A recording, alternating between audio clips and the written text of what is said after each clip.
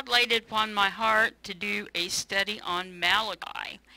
And I think I put a ribbon book, bookmark in that NIV there so that it'd make it easier for you. But it's the last book of the Old Testament. And I thought I would give you a, while everybody's making sure they've got Malachi, we made a few changes. I've, I'm hoping to get Dave to read from the King James Version. And I'm hoping to get Josie to read from the New International Version. And then I'll read from the Amplified. And we'll see what we can get out of this.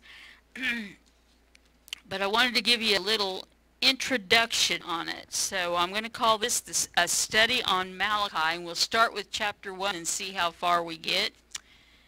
And go from there. But the author is a man by the name of Malachi who was considered a prophet. And um, when we go through this, we will kind of get an idea of the conditions at that time, which I understand were similar to um, the conditions in Nehemiah's time. Um, and it's written in quite a forceful and unusual way. It part of it uh, portrays is kind of like him having God speak through him and tell to the people. And um,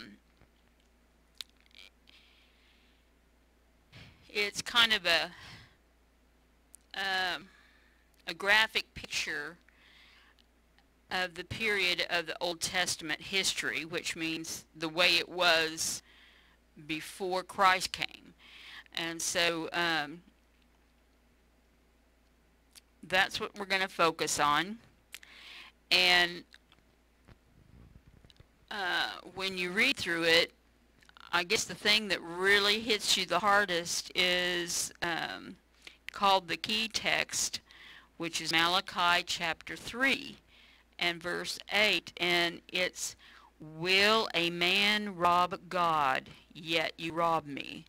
So, in my way of thinking, it's God's way of putting his people in their place. Because we as people tend to think if we are doing certain things that we're pleasing God. Well, sometimes we're not especially if we get too pious and religious about it. Uh, so, anyway, let's, um, we're going to go to chapter 1. And Dave, if you'll read verses 1 through 5, then I'll have Josie read verses 1 through 5 in the NIV, and I'll read them in the Amplified. Okay? Malachi verse 1, chapter 1. The burden of the word of the Lord to Israel by Malachi. I have loved you, saith the Lord, yet you say, Wherein hast thou loved us? Was not Esau Jacob's brother, saith the Lord?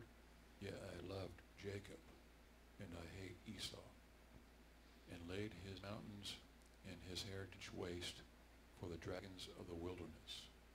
Whereas Edom saith, We are impoverished, but we will return and build the desolate places. Thus saith the Lord of hosts, They shall build, but I will throw down, and they shall call them the border of wickedness, and the people against whom the Lord hath indignation forever. And your eyes shall see, and ye shall say, the Lord will be magnified from the border of Israel.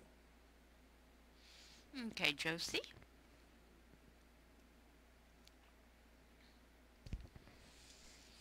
An oracle, the word of the Lord to Israel through Malachi. Jacob loved, Esau hated. I have loved you, says the Lord, but you ask, how have you loved us? Was not Esau Jacob's brother? The Lord says, Yet I have loved Jacob, but Esau I have hated, and I have turned his mountains into a wasteland and left his inheritance to the desert jackals. Edom may say, Though we have been crushed, we will rebuild the ruins. But this is what the Lord Almighty says. They may build, but I will demolish. They will be called the wicked land, a people always under the wrath of the Lord. You will see it with your own eyes and say, Great is the Lord, even beyond the borders of Israel. Okay. The oracle, burdensome message of the word of the Lord to Israel through my messenger Malachi. I have loved you, says the Lord. but you say, How? And in what way have you loved us? Was not Esau, Esau Jacob's brother, declares the Lord? Yet I love Jacob, or Israel. But in comparison with my love for Jacob, I have hated Esau, or Edom, and I have made his mountains a wasteland, and have given his inheritance to the jackals of the wilderness. Though impoverished, Edom says, We have been beaten down, but we will return and build up the ruins. Thus says the Lord of hosts, They may build, but I will tear down, and men will call them the wicked territory, the people against whom the Lord is indignant forever. Your own eyes will see this, and you will say, The Lord is great, and shall be magnified beyond the border of Israel. Now, before I make comments, do either one of you have comments you want to make on these first verses? Dave's shaking his head no. How about you, Josie? No. I just want to bring out the fact that the Old Testament was a time of the law. And the law was used to show us what pleases God and that we of ourselves cannot please God. However, there were people back in the Old Testament that did their best to, according to their knowledge, to obey God and do things that would please God and he brings out an example in Esau and in Jacob. When when they gave offerings to the Lord it's my understanding that Jacob gave his best. And he gave of an animal sacrifice. So which when you read scriptures that was the requirement for an offering for the shedding of blood uh, at that time. And um, Esau, you know, the animal sacrifice was basically a sacrifice from God's provision, the animal. Now you say, well, God helped provide the plants too, and, and Esau gave uh, you know, he was a farmer and he gave uh, of his plants. Well, the plants didn't shed blood. so that, so it wasn't that big of a sacrifice uh, on the plants, you know, um, in God's eyes. And Esau got mad at Jacob because Jacob, his was accepted and Esau's wasn't. Well, um, there's blessings that come with doing things the right way according to the Lord, Jesus Christ and God. Um, but those blessings are withdrawn. Um, you just not, you don't receive the blessings by being disobedient. Let's put it that way. That's a little bit easier to to understand. Um, you know, and God tells us throughout the scriptures, you know, if you are obedient, you will have favor. You will be blessed. If you are disobedient, you will be cursed and you will not have favor. So um, that kind of goes along with this, you know, um, where Edom or Esau says, well, you know, um, we've been beaten down, but we will return and rebuild. And uh, God says, uh, they may build, but I will tear it back down. He's not going to honor and give favor to someone who has on purpose been rebellious and wanted to do it their way instead of God's way. And um, you know, it's just like with our children. We God does have um, unconditional love, but love does not mean you accept the wrongdoing. If you really love your child when they disobey, you will discipline them. And um, God is that way too. And because I use the word hate in here, it makes people think that he didn't love Esau. But he did have a an unconditional love for Esau, but he really despised the disobedience of Esau. And because he was a perfect God and, and Jesus' blood had not been shed to uh, cover that imperfection, he could not look upon that and accept it at all. And so anyway, um, and then when Esau killed, or not, wait a minute, um,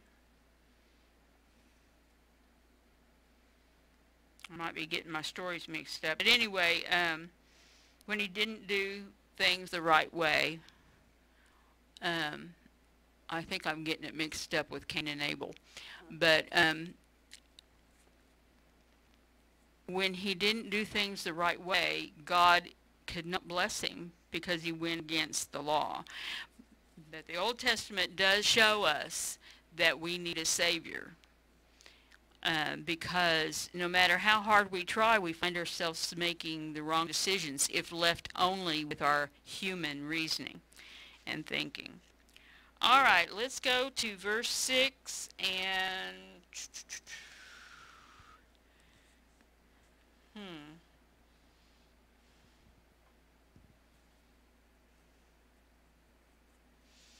Let's go from uh, 6 to 9, through 9.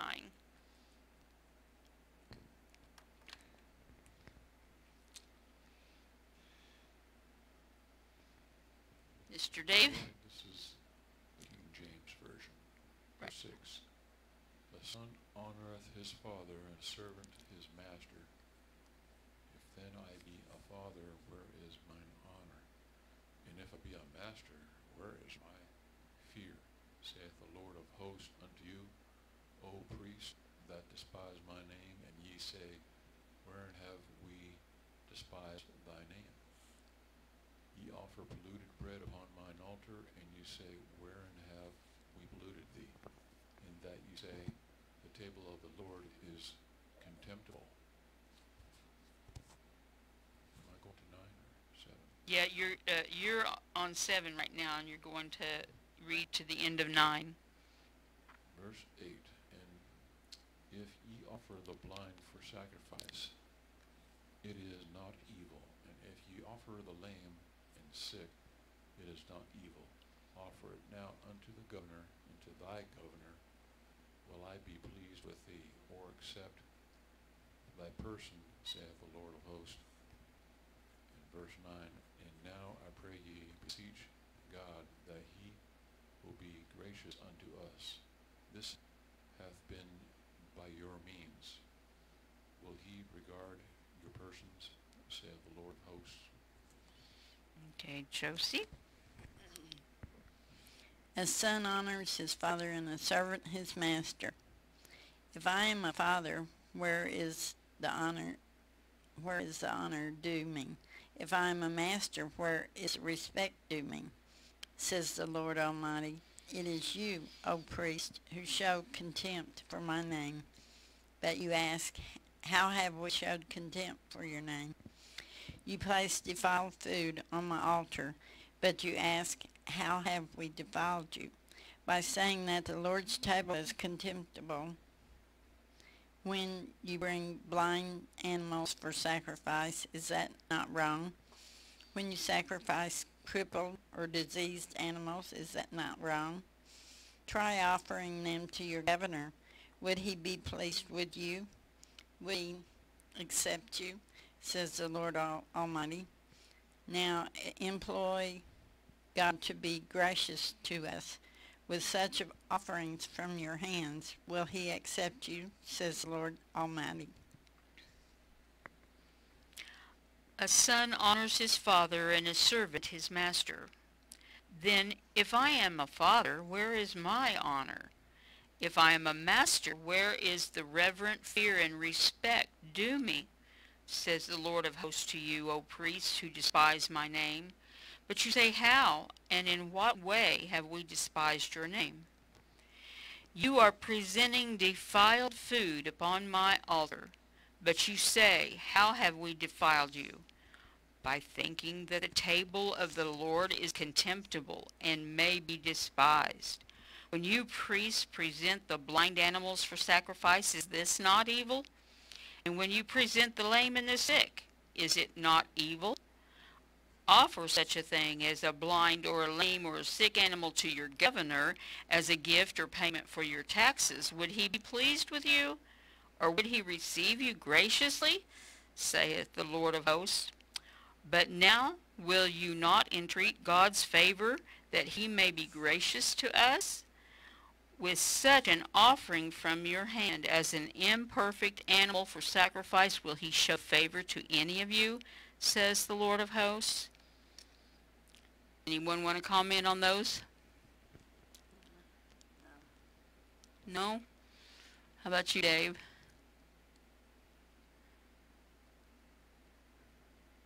No? Okay.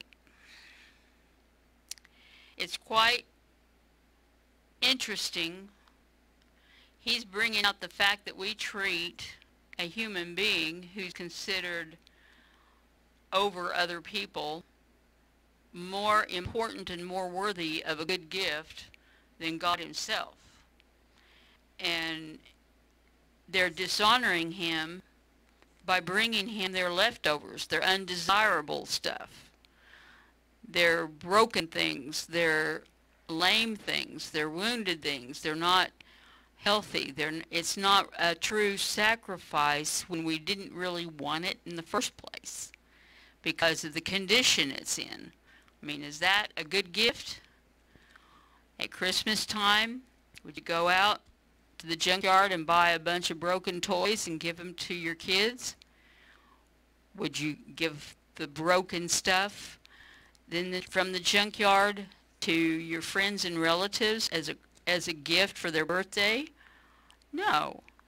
You wanted to show them that you were give show them some honor and some favor and we're just human. We don't deserve half the favor God deserves. He's perfect. And so he was trying to make a point here. You are not giving of your best to the master. You are dishonoring me by giving me your leftovers and your unwanted stuff and so, and we can apply it nowadays, you know, if, uh, to, you know, whatever we are giving to the Lord, we need to give the best that we can give. One person can give more than another, perhaps, but um, and and that's not to be a sh putting shame on the one that can't give as much. But if you're not giving God the good stuff, you're giving him the bad stuff, you're dishonoring him. okay, let's go and read verses 10 through 14 in chapter 1.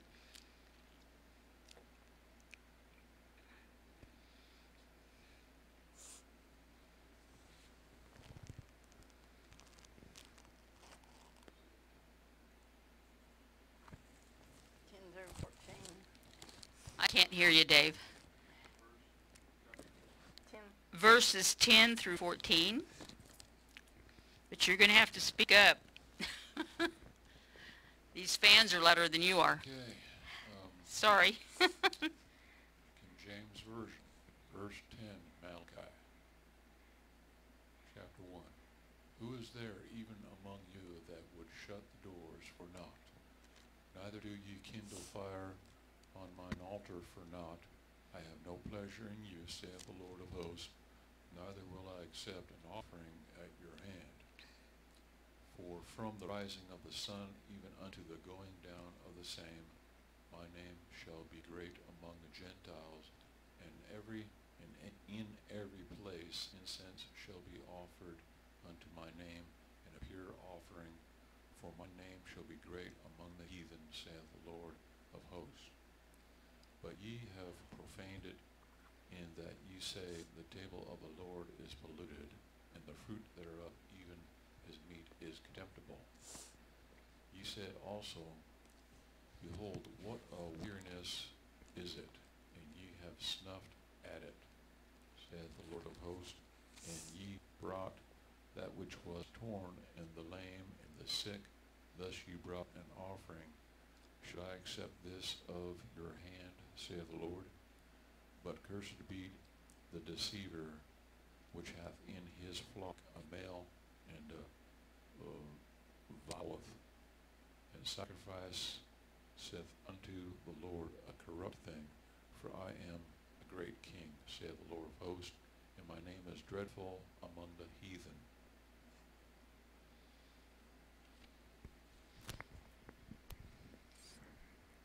Verse 10, International. Oh, that one of you would shut the temple doors so that you would not light useless fires on my altar. I am not pleased with you, says the Lord Almighty, and I will accept no offering from your hands. My name will be great among the nations from the rising of the, the setting of the sun. In every place incense and pure offering, offerings will be brought to my name, because my name will be great among the nations, says the Lord Almighty. But you profane it by saying of the Lord's table it is defiled and, of its food it is contemptible. And you say, what a burden, and you sniff at it contemptuously, says the Lord Almighty when you bring injured, crippled, or diseased animals and offer them as sacrifice, should I accept them from your hands, says the Lord? Cursed is the cheat who has acceptable male in his flock and vows to give it, and then sacrifices a blemished animal to the Lord. For I am a great king, says the Lord Almighty, and my name is to be feared among the nations. Amplified. Oh, that there were even one among you whose duty it is to minister to me, who would shut the gates so that you would not kindle fire on my altar uselessly, with an empty, worthless pretense. I'm not pleased with you, says the Lord of hosts, nor will I accept an offering from your hand.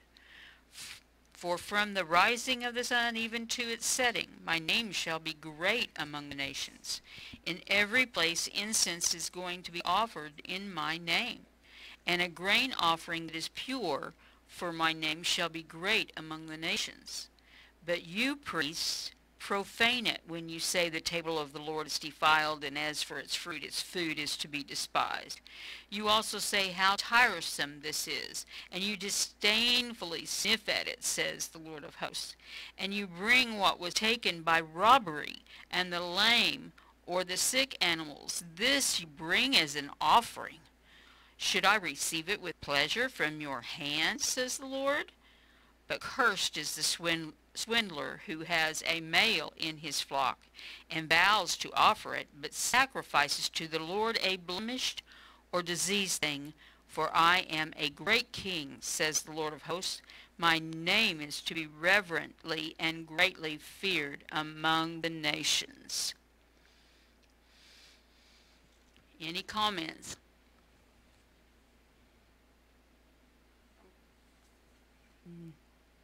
No? Okay. I have one. I noticed in these verses, he's taken it a step farther. It's not just about what they bring as a sacrifice, it's their attitude about bringing the sacrifice. The attitude is, it should be a joyful attitude that we're glad because we're serving a awesome God and not one that makes us feel tiresome for the sacrifice.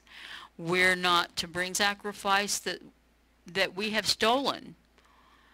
I've heard people say, you know, that they well, I've heard of them. I haven't heard them say it, but I've heard of people who go out and maybe rob a bank or something and think that if they pay a 10% tithe on what they robbed, that they're okay with God about it.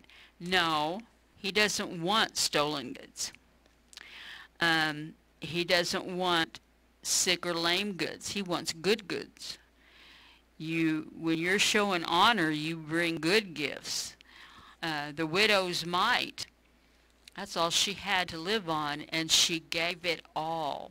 It wasn't much, but she gave it all. That's why he showed so much honor over that. And, you know, um, it's when he can he can bless us in spite of what we give when we give of our best. And that's what he's trying to get across. And when we do it with a good attitude, a good mindset, and when we're not trying to trick somebody, you know, the, um, when you try to do things in in front of others to make them think you're a great person when really you're not doing what you promised the Lord you'd do anyway, and then you're doing it with the wrong attitude because you're not supposed to give unto the Lord to please other people.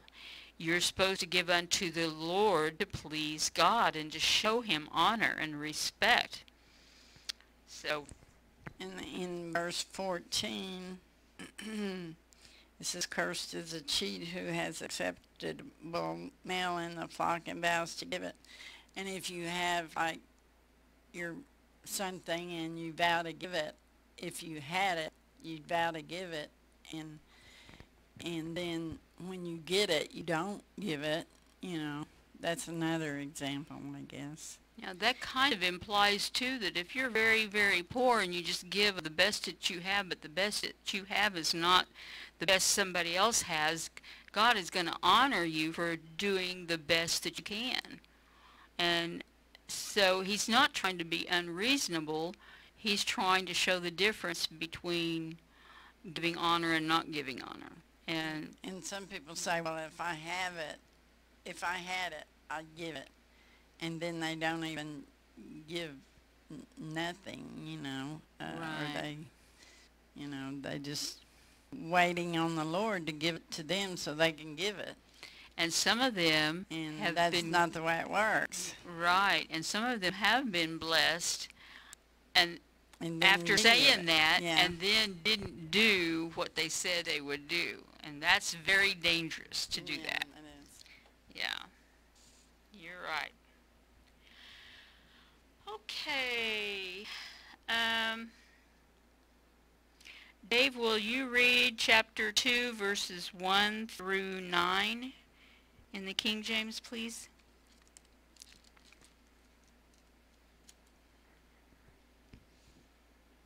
Verse 1, chapter 2.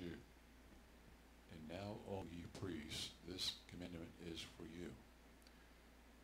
Will not hear, and if you will not lay it to heart, to give glory unto my name, saith the Lord of hosts, I will even send a curse upon you, and I will curse your blessings. Yea, I have cursed them already, because ye do not lay it to heart.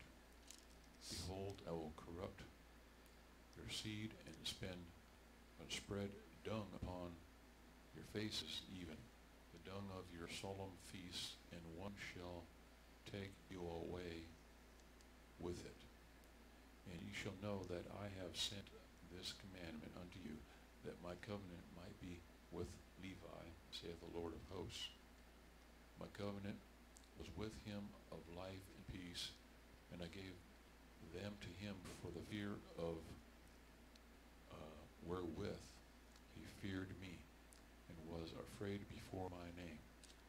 The law of truth was in his mouth, and iniquity was not found in his lips.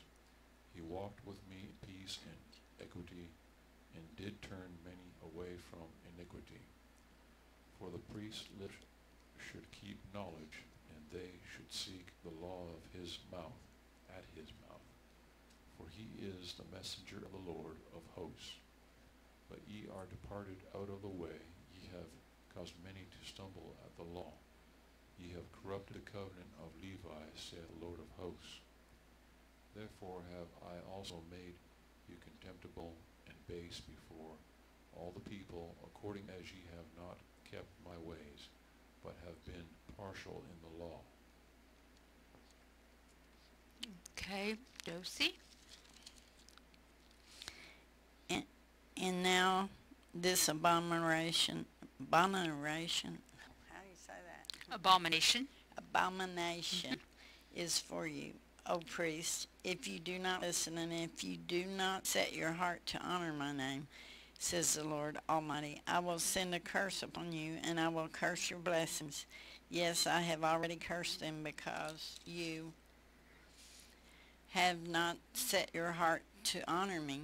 Because of you, I will be, rebuke your descendants. I will spread on your faces the awful, offal from your festival sacrifices, and you will be carried off with it.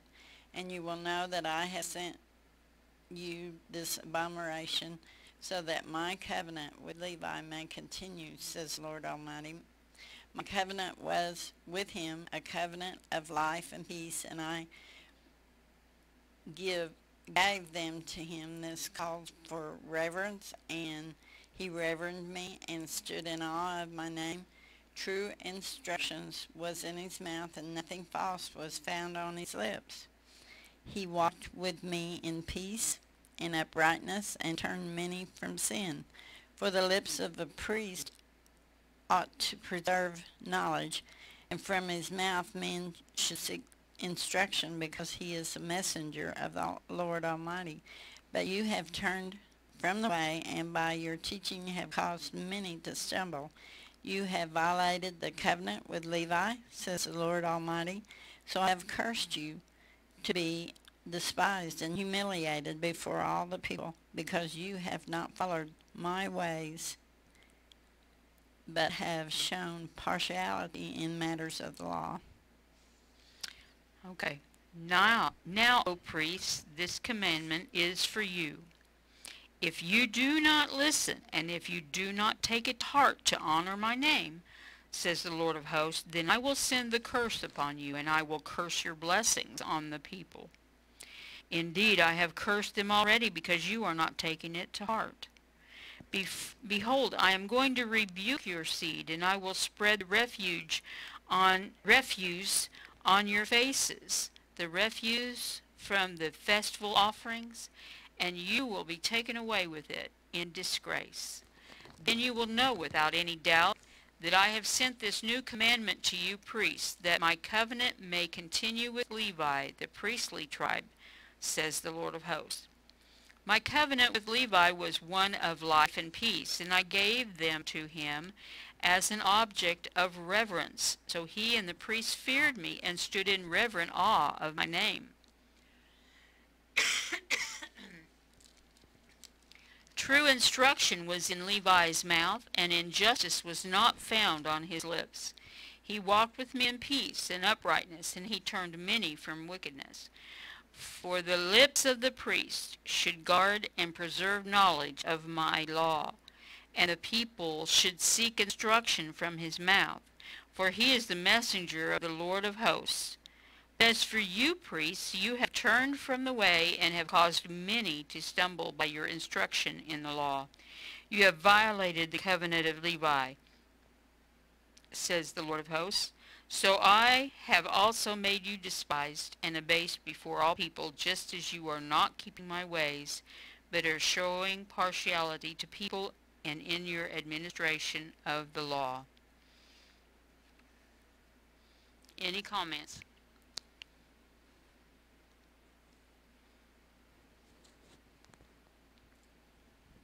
Well, what I get out of this is the priests themselves were not doing or teaching the honorable thing to do for the Lord. They were not teaching correct things. They were showing partiality. I mean, if you gave a lot of money into their church, um, they would let you get away with things that they wouldn't let the regular person who didn't have that much money get away with. They were being partial. And God's law doesn't say, you know, like on the Ten Commandments and su- such, it doesn't say you, that if you're rich, you don't have to honor your parents or you don't have to refrain from killing, murdering somebody. I mean, it doesn't say it that way. That what is the law for one person is the law for all. And um, so he, he was also letting them know that he held the teachers and the priests and the, and so forth responsible for the people because they were not instructing them correctly. So he was causing them to stumble and do wrong in the sight of the Lord because he he the priests were not doing what God they were not teaching what God expected them to teach. And they knew it wasn't they didn't know. They were choosing the wrong, you know, for whatever reason. And so therefore he was going to to cause them to have shame, just as if somebody took and wiped cow manure all over their face, causing them to be degraded and ashamed because that's what they were doing to God and God's word and his law. And that was not right to do that. Um, he let them know that the priests are supposed to guard and preserve his law, not abuse it and misuse it. Um, the people were supposed to seek instruction from the priest, but what good was it if he was giving false or bad instructions? You know, he's going to hold them extra accountable, not only for their own, his, the priest's own behavior, but for what they were teaching the people that followed after them. so, I guess we are ready. We might get through the whole book of Malachi if we keep going at this rate. um, all right. Let's go to Malachi chapter 2, verse 10 through 16, if you would, Dave.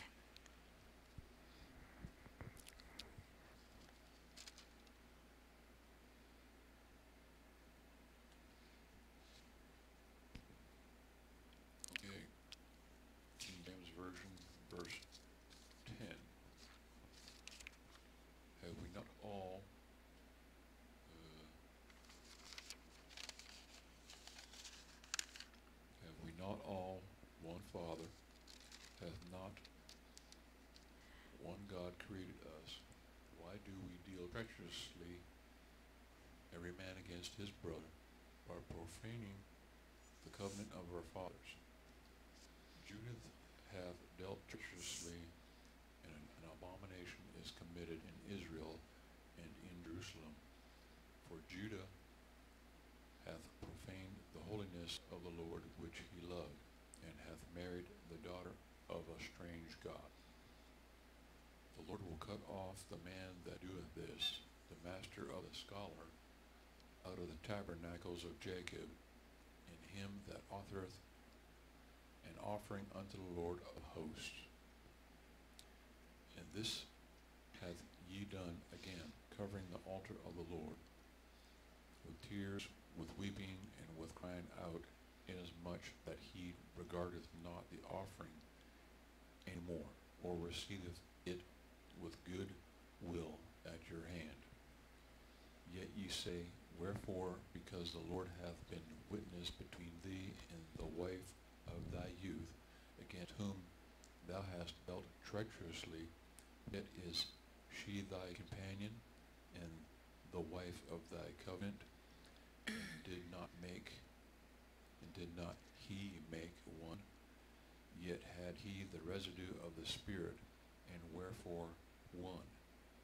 That he might seek a godly seed. Therefore take heed to your spirit, and let none deal treacherously against the life of his youth. Verse 16 For the Lord, the God of Israel, saith that he hateth putting away, for one covereth violence with his garment, saith the Lord of hosts. Therefore, take heed to your spirit, that ye deal not treacherously. Okay. Josie? International Version, ver, uh, chapter 2, verse 10. Judah unfaithful. Have we not all one Father? Did not one God create us? Why do we profane the covenant of our fathers by breaking faith with one another? Judah has broken faith, a detestable thing has been committed in Israel and in Jerusalem. Judah has desecrated the sanctuary the Lord loves by marrying the daughter of a foreign god. As for the man who does this, whoever he may be, may the Lord cut him off from the tents of Jacob, even though he brings offerings to the Lord Almighty. Another thing you do, you flood the Lord's altar with tears. You weep and wail because he no longer pays attention to your offerings or accepts them with pleasure from your hands. You ask why. It is because the Lord is acting as a witness between you and the wife of your youth, because you have broken faith with her, though she is your partner, the wife of your marriage covenant. Has not the Lord made them one in flesh and spirit? They are his. And why one? Because he was seeking godly offspring. So guard yourself in your spirit and do not break faith with the wife of your youth. I hate divorce, says the Lord God of Israel, and I hate man's covering himself with violence, as well as with his garments, says the Lord Almighty. So guard yourself in your spirit and do not break faith. Okay. in the Amplified, verse 10, starting in verse 10, Do we not all have one Father? Has not one God created us? Why do we deal treacherously with one another, profaning the covenant of our fathers with God? Judah has been treacherous, disloyal, and a, and an repulsive act has been committed in Israel and in Jerusalem. For Judah has profaned the sanctuary of the Lord, which he loves, and has married the daughter of a foreign god. As for the man who does this, may the Lord cut off from the tents of Jacob to the la- last man who do this evil thing, awake and aware, even the one who brings an offering to the Lord of hosts.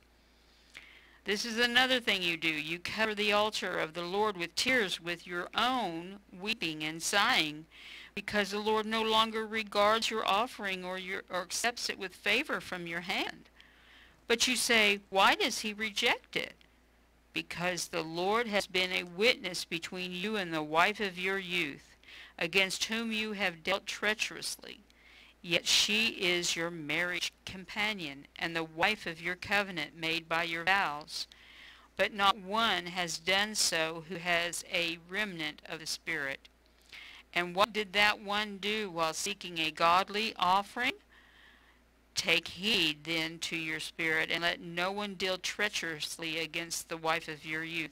For I hate divorce, says the Lord, the God of Israel, and him who covers his garment with wrong and violence, says the Lord of hosts.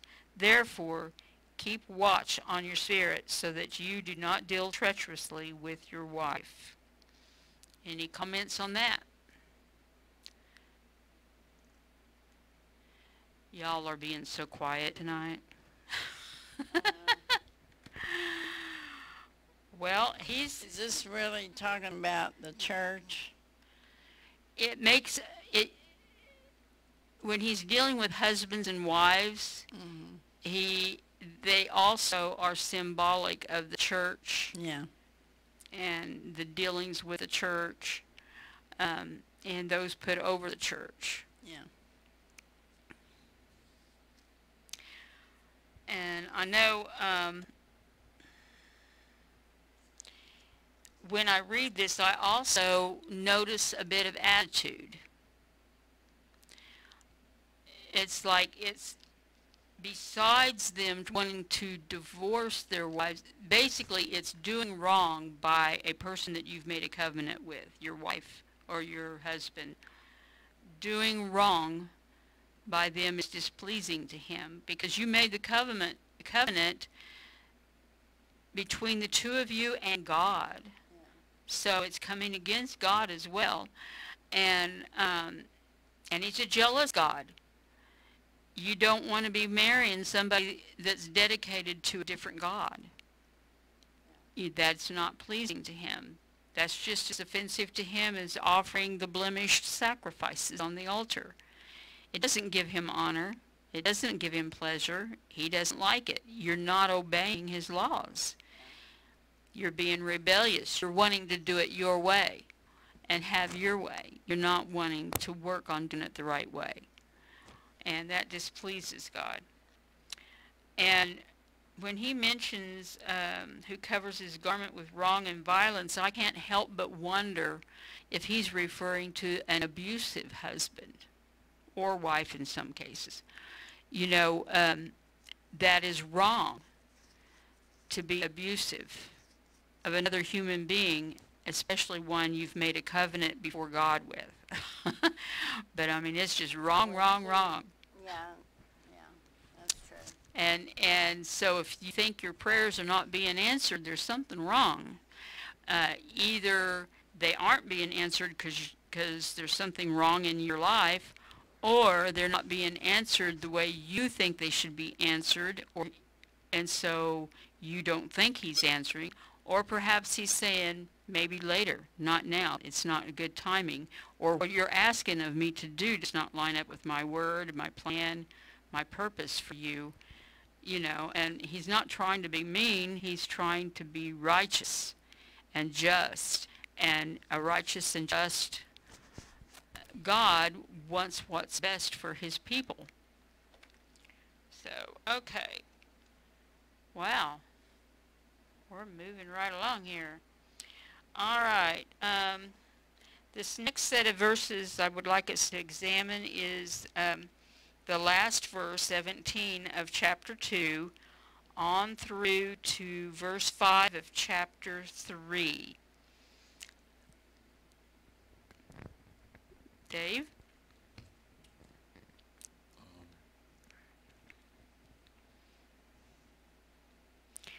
verse 17 of chapter 2 and then on through chapter 3, 1 through 5. Okay.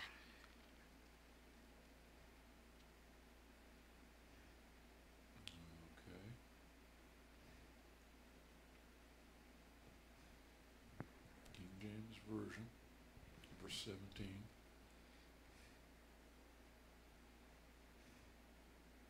Ye have wearied the Lord with your words, yet ye say, Wherein have we wearied him? When you say, Everyone that doeth evil is good in the sight of the Lord, and he delighteth in them, or where is the God of judgment? Okay, chapter 3, verse 1. Behold, I will send my messenger, and he shall prepare the way before me. And the Lord whom ye seek shall suddenly come to his temple, even the messenger of the covenant, whom ye delight in. Behold, he shall come, saith the Lord of hosts. But who may abide the day of his coming? And who shall stand when he appeareth? For he is like a refiner's fire and like fuller's soap. And he shall sit as a refiner and purifier of silver, and he shall purify the sons of Levi and purge them as gold and silver, that they may offer unto the Lord an offering in righteousness. Then shall the offering of Judah Ju- and Jerusalem be pleasant unto the Lord, as in the days of old and as in former years. And I will come near to you to judgment, and I will be a swift witness against the sorcerers, and against the adulterers, and against false swearers, and against those that oppress the hireling in his wages, the widow, and the fatherless, that turn aside the stranger from his right, and fear not me, saith the Lord of hosts. Okay, Josie? International chapter 2, verse 17 and 3, 1 through 5. the day of judgment. You have wearied the Lord with your words. How have we wearied him, you ask? By saying all who do evil are good in the eyes of the Lord, and he pleased with them and he is pleased with them, or where is the Lord of justice, God of justice? See, I will send my messenger, who will prepare the way before me. Then suddenly the Lord you are seeking will come to his temple. The messenger of the covenant whom you desire will come, says the Lord Almighty. But who can endure the day of his coming? who can stand where he appears, for he will be like a refiner's fire or a launderer's soap. He will set as a refiner and purifier of silver. He will purify the Levites and refine them like gold and silver. Then the Lord will have men who will bring offerings in righteousness and the offerings of Judah and Jerusalem will he will be acceptable to the Lord as in the days gone by, as in former years. So I will come near to you for judgment. I will be quick to testify against sorcerers, adulterers, and per- perjurers, against those who defraud laborers of their wages, who oppress the widows and the fatherless, and deprive aliens of justice but do not fear me, says the Lord Almighty. All right, and the Amplified. You have wearied the Lord with your words, but you say, In what way have we wearied him? In that you say, Everyone who does evil is good in the sight of the Lord, and he delights in them. Where is the God of or by us asking where is the God of justice? Well, if he gave us justice, we'd all be destroyed. and and it's like uh, whatever. It's like they're doing what Satan did in the garden. They're saying what God says is not true. It's the opposite. You know that, and then and then they wonder how they have wearied him. they're still not following what he's instructing them to do. He's still not doing, they're still not doing right. All right. Uh, Behold, I'm going to send my messenger, and he will prepare and clear the way before me. And the Lord, the Messiah, whom you seek, will suddenly come to his temple. The messenger of the covenant in whom you delight, behold, he is coming, says the Lord of hosts. Verse 2. But who can endure the day of his coming, and who can stand when he appears? For he is like a refiner's fire, and like launderer's soap, which removes impurities and uncleanness.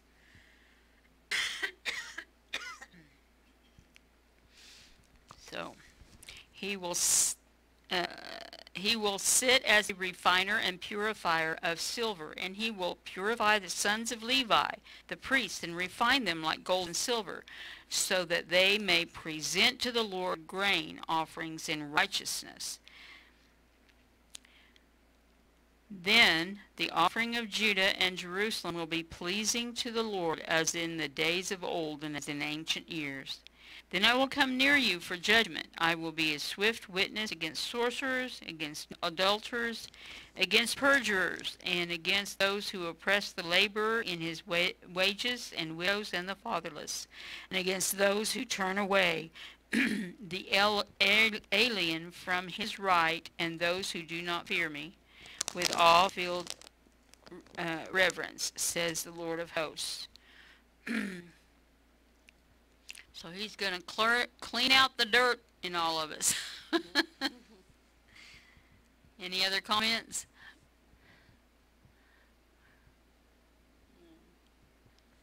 He's the only one that's worthy enough to clean out the dirt in all of us. All right. Well, we still have plenty of time, so let's read verse 6 through,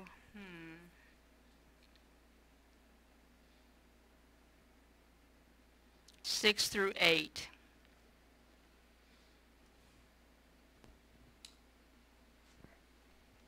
King James Version, chapter 3, verse 6. For I am the Lord, I change not. Therefore, ye sons of Jacob are not consumed. Even from the days of your fathers ye are gone away from mine ordinances, and have not kept Return unto me, and I will return unto you, the Lord of hosts. But ye said, Wherein shall we return? Will a man rob God? Yet ye have robbed me. But ye say, Wherein have we robbed thee? In tithes and offerings. Uh, go on ahead and read, hmm, nine through fourteen. Verse 9 Ye are cursed with a curse, for you have robbed me, even this whole nation. Bring ye all the tithes into the storehouse, that there may be meat in mine house, and prove me now. Herewith saith the Lord of hosts, if I will not open you the windows of heaven and pour you out of out a blessing, that there shall not be room enough to receive it. And I will rebuke the devourer for your sakes, and he shall not destroy the fruits of your ground, neither shall your vine cast her fruit before the time in the field, saith the Lord of hosts.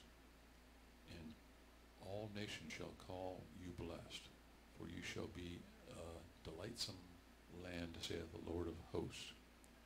Your words have been stout against me, saith the Lord. Yet ye say, What have we spoken so much against thee? Ye have said, It is vain to serve God, and what profit it is that we have kept his ordinance, and that we have walked mournfully before the Lord of hosts.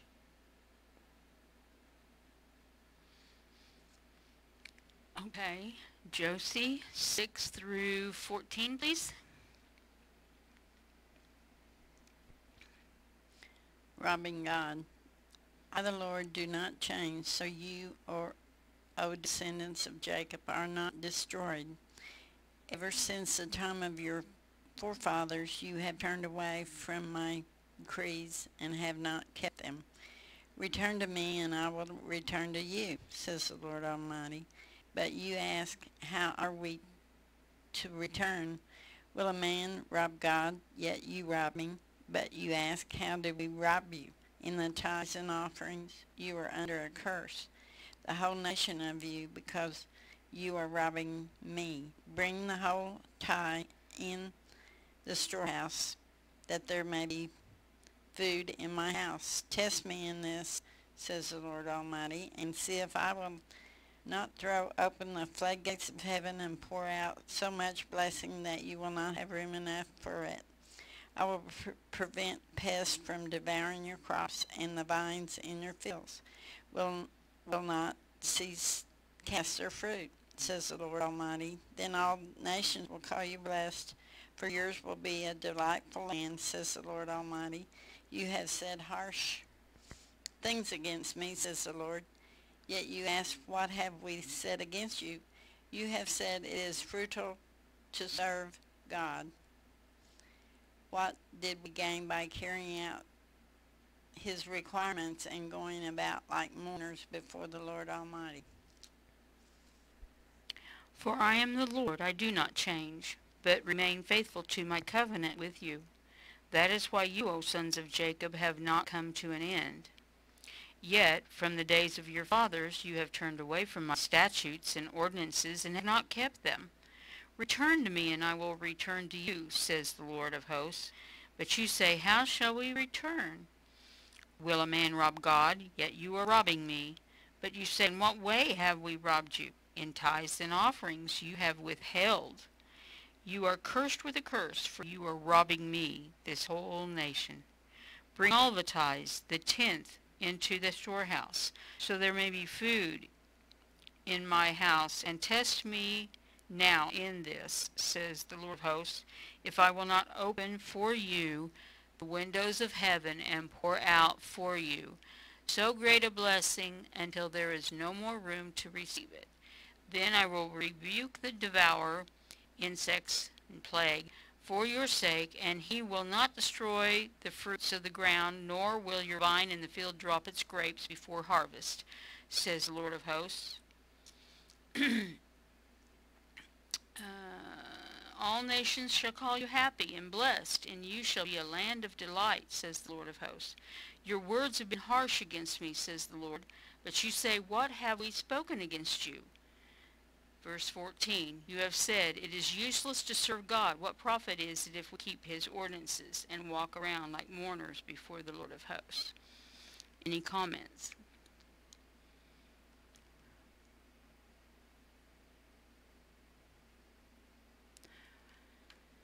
It sounds to me, besides all the other things we've discussed, that they don't recognize when he does bless them and they're not grateful for when he blesses them and they don't do exactly according to what they're supposed to do when it does come to giving unto the Lord.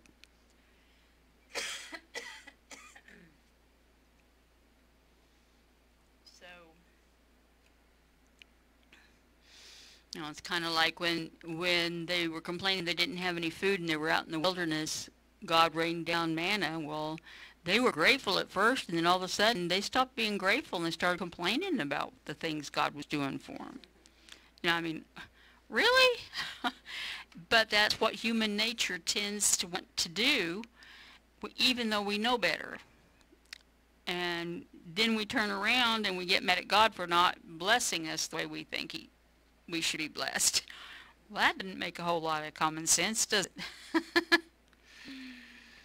All right, now we're going to start verse 15 and go through 18. I think we're going to get finished with Malachi before we leave today.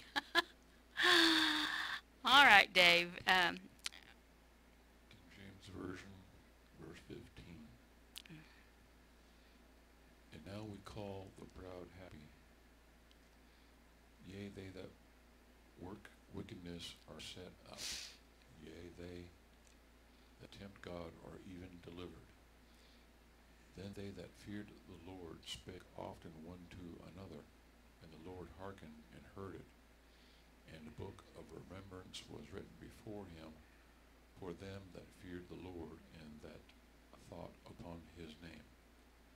And they shall be mine, saith the Lord of hosts, in, in that day when I make up my jewels, and I will spare them as a man spareth his own son that serveth him. Then shall ye return and discern between the righteous and the wicked, between him that serveth God and him that serveth him not. okay, Josie, starting with 15, please. Okay, but now we call the arrogant blessed. Certainly the evildoers prosper, and even those who challenge God escape. Then those who feared the Lord talked with each other, and the Lord listened and heard. A scroll of remembrance was written in his presence concerning those who feared the Lord and honored his name. They will be mine, says the Lord Almighty, in the day when I make up my treasured possession. I will spare them, just as in compassion a man spares his son who serves him. And you will again see the distinction between the righteous and the wicked, between those who serve God and those who don't. All right, the Amplified, starting with it, verse 15. So now we call the arrogant happy and blessed. Evildoers are exalted and prosper, and when they test God, they escape unpunished. Then those who feared the Lord with awe-filled reverence spoke to one another, and the Lord paid attention and heard it. And a book of remembrance was written before him of those who fear or respect the Lord with an attitude of reverence and respect, and who esteemed his name. They will be mine, says the Lord of hosts, on that day when I publicly recognize them and openly declare them to be my own possession, that is my very special treasure. And I will have compassion on them and spare them as a man spares his own son who serves him. Then you will gain distinguished then you will, get, will again distinguish between the righteous and the wicked, between the one who serves God and the one who does not serve him. Any comments on that?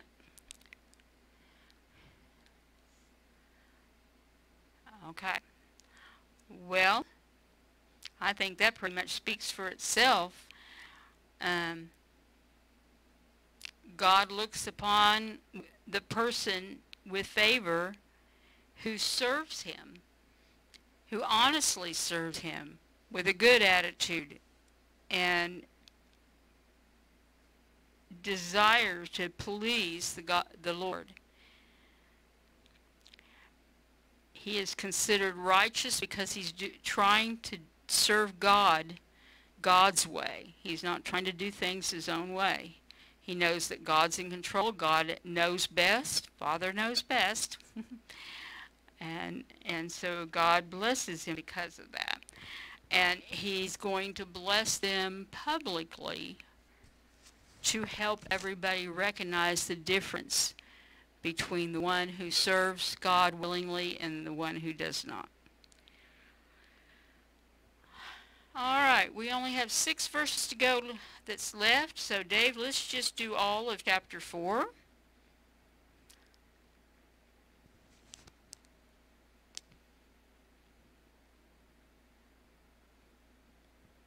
King James Version, verse 1. For behold, the day cometh that shall burn as an oven, and all the proud, yea, and all that do wickedly shall be stubble.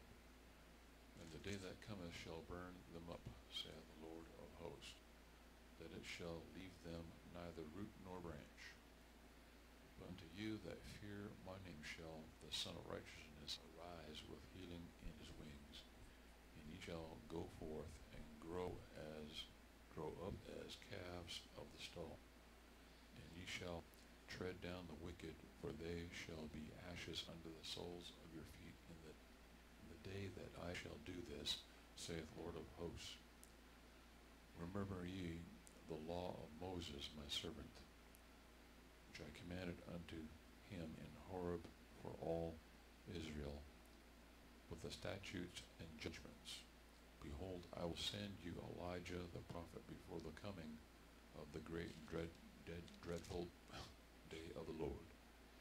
And he shall turn the heart of the fathers to the children, and the heart of the children to their fathers, lest I come and smite the earth with curse.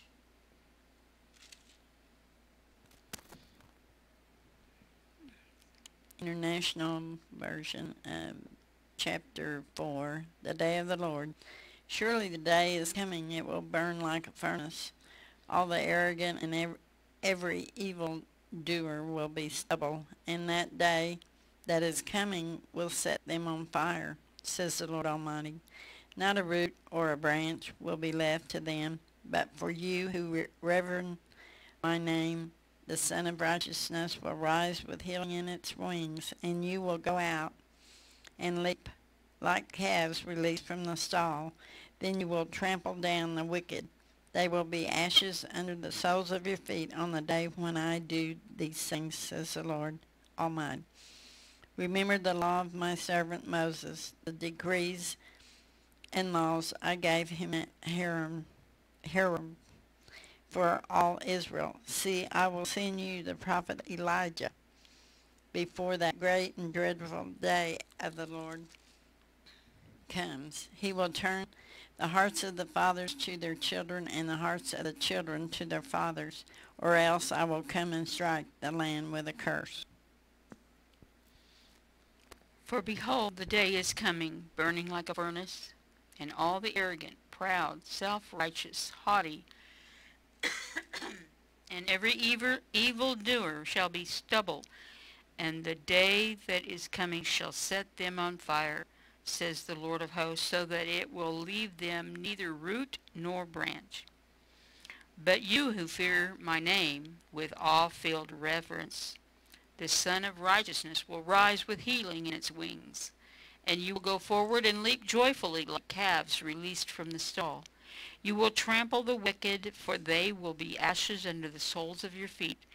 On the day that I do this, says the Lord of hosts, remember with thoughtful concern the law of Moses my servant, the statutes and the ordinances which I commanded him on Mount Horeb to give to all Israel. Behold, I am going to send you Elijah the prophet before the coming of the great and terrible day of the Lord. He will turn the hearts of the fathers to their children, and the hearts of the children to their fathers, a reconciliation produced by repentance, so that I will not come and strike the land with a curse of complete destruction. Looks like he's going to take the bad people out. That's what it looks like to me. Anybody else got a comment?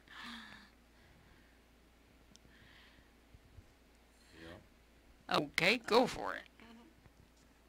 Jesus was the day of the Lord. Mm-hmm. And ever since then, every day is the day of the Lord. In, in, in everyone's lives, you know, whatever. And, uh, so if you want to think about it, uh, what sounds good today, I guess. Sounds like a, a big event. It reminded me of today as well.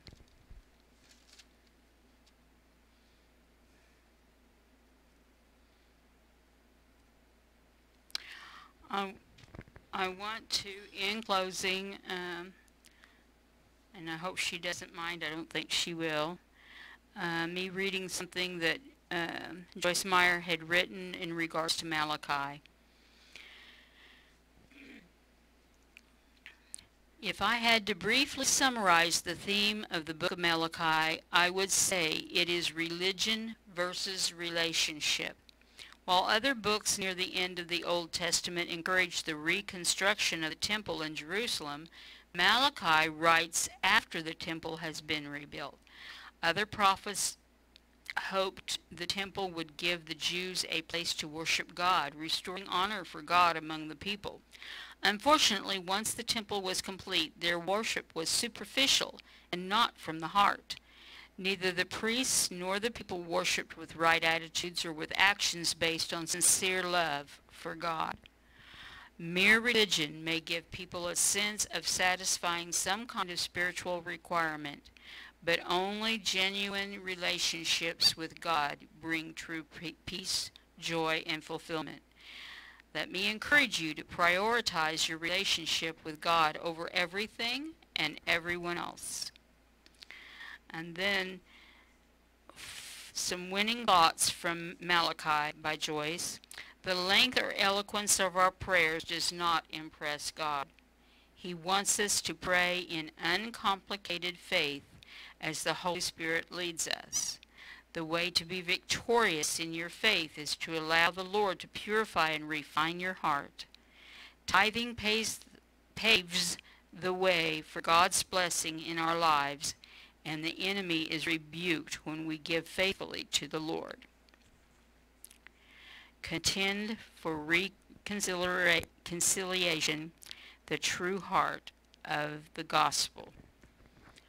So I thought, you know, Malachi reminded me of today, and it's like, uh, I believe there's going to come a time when the tares and the wheat are separated, and the tares are burned up. And so, um, in in sort of an indirect way, that summarizes Malachi, I think. But God lets them know why. They're always asking why. Well, he, he gives them the answer to the why. You know, it's kind of like a father to a disobedient son. Straighten up your act and do what you're supposed to do, and you won't have all these problems. so, anyway, God bless you. And um, if there's any other comments or prayer requests, now's a good time to give them.